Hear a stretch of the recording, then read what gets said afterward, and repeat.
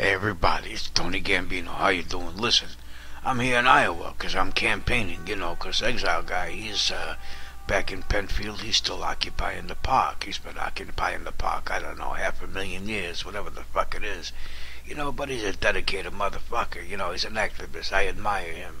You know, he's like my motherfucking icon, if you know what I'm talking about.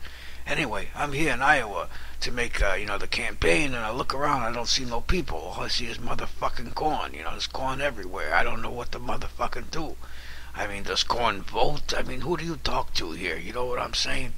There's nobody. So I don't know what I'm gonna do. Maybe I'll get on a bus, get the fuck out of this motherfucking crazy ass motherfucking place and go to where they got like a city or a town or you know something, a village, something, somebody to talk to. You get a cup of coffee or something. You know, you get a sandwich. What can I tell you?